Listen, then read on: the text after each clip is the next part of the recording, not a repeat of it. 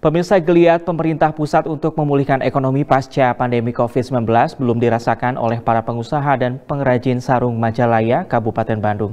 Pasalnya upaya pemerintah untuk mengembalikan perekonomian masyarakat terutama di sektor industri berbanding terbalik dengan naiknya harga bahan baku pembuatan sarung yang mencapai 25 hingga 40 persen.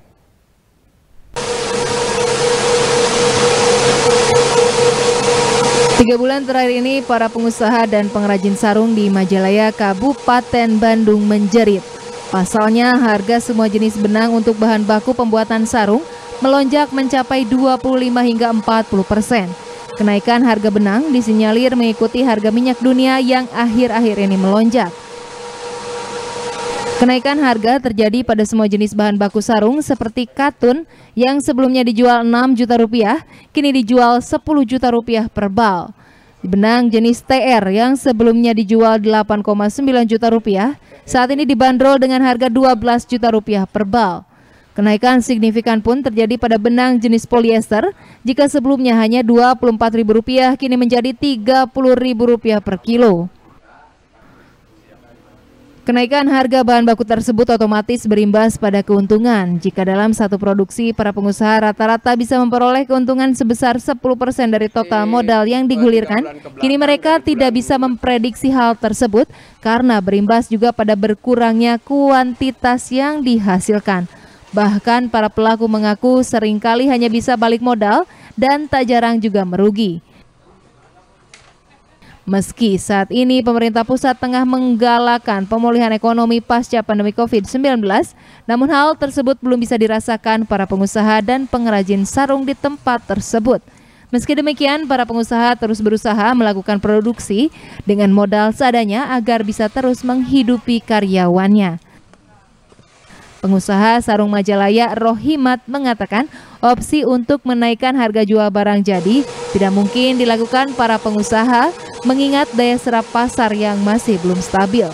Bahkan jika hal ini terus terjadi, produksi sarung Majalaya bisa berhenti secara total dan sebanyak kurang lebih 100 ribu orang karyawan yang menggantungkan hidupnya pada industri pertekstilan terancam dirumahkan. Uh, ini uh, benang atau bahan baku dari sejak uh, tiga bulan belakang ini mm, merasa apa gitu tidak stabil lah. Istilahnya tidak merata. Ada yang jual dari harga perbalnya itu ada yang 5 juta 500 ada yang juga 6 juta. Sekarang lebih-lebih dari uh, bahan baku itu melambung terus. Dari bahan polister sama PE apalagi katun itu merasa uh, harga-harganya terlalu tinggi jadi sekarang mau penjualan jangan kemarin uh, bahan jadi sekarang dijual lagi tidak ada untungnya. Menurut Ketua Pertekstilan Majalaya Aep Hendar, dengan dalih mengikuti kenaikan harga minyak dunia, para pengusaha bahan baku benang menaikkan harga semena-mena sehingga memberatkan para pengusaha sarung.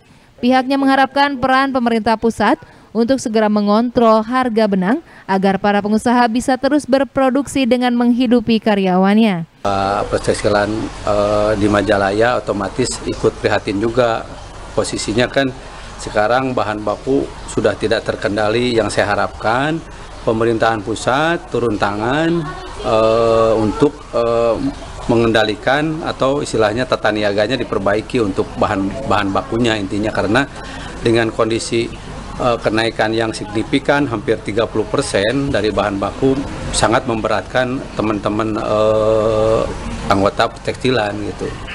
Haji mungkin uh, jika dirunut ini kenaikan harga bahan baku ini dikarenakan apa sih? Uh, yang saya tahu itu karena uh, mungkin dari uh, bahan minyak gitu karena uh, produk tekstil terutama benang itu dipengaruhi oleh keadaan uh, harga benang eh, harga minyak dunia gitu. Sejak dulu kawasan Majalaya terkenal sebagai salah satu sentra sarung terbesar di Indonesia. Maka dari itu para pengusaha sarung berharap para pemerintah agar bisa segera mengontrol harga bahan baku Karena jika para pengusaha masih diberatkan oleh tingginya harga benang dan tak bisa diimbangi oleh harga jual produk jadi, tidak menutup kemungkinan sentra sarung Majalaya yang sudah ada sejak puluhan tahun silam ini perlahan-lahan akan terkikis dan mati total. Rezitia Prasaja, Bandung TV.